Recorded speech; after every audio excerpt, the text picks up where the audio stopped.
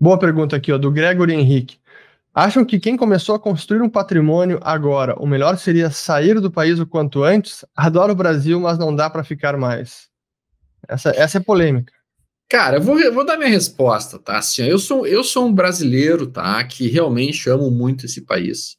Uh, tive a felicidade de conhecer vários outros países, né? Já morei algum tempo, até mesmo em alguns deles.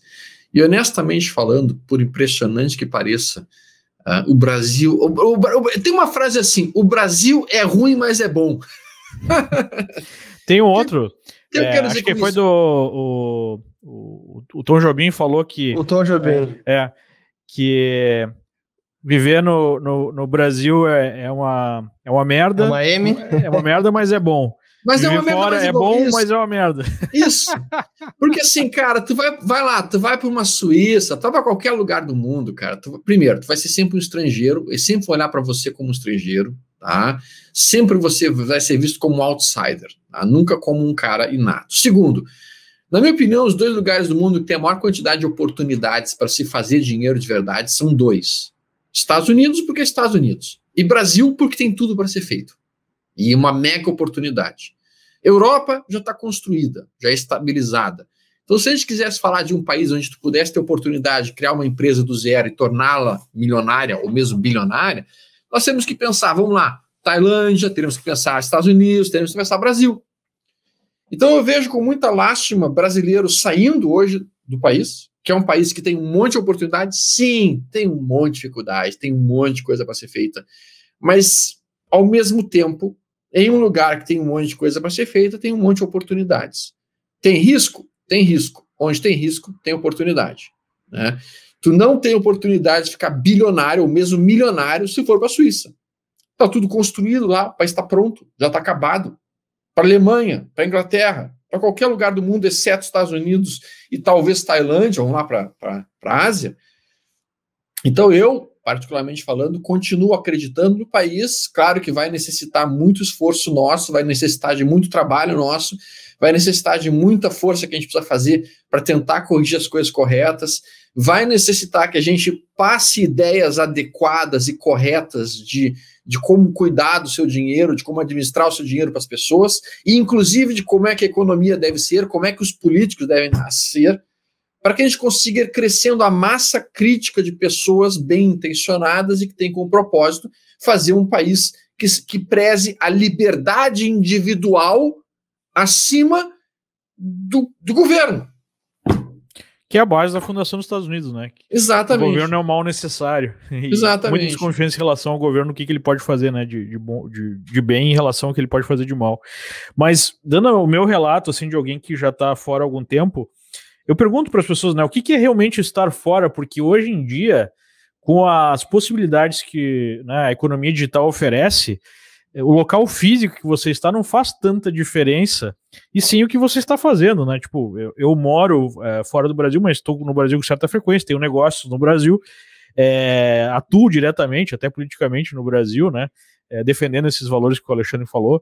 Então, não necessariamente você sair fisicamente do país por algum tempo significa estar fora do país de fato, né?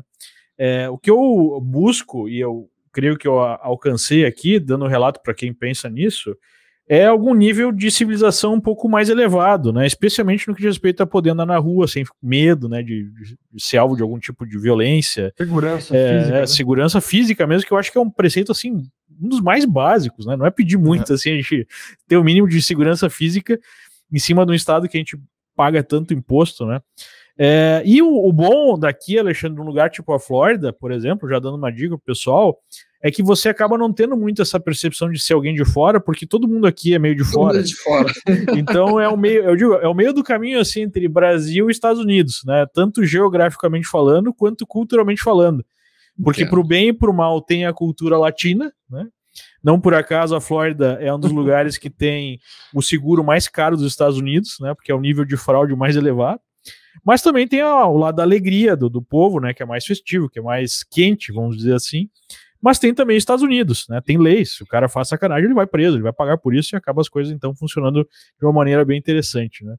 Então é, é uma decisão individual, mas independentemente se você pensa em sair do, do país ou não, é, o seu dinheiro, pelo menos parte dele, tem que sair do país, né? Esse sim. que a gente tem passado Isso aqui. Você, você precisa é, ter pelo menos uma parcela do seu patrimônio em outras moedas, não necessariamente dólar, né? dólar, euro, sim. ien, enfim. É, porque só essa diversificação internacional que vai dar um pouco mais de robustez numa época tão complexa que nós estamos vivendo do ponto de vista financeiro e de investimentos.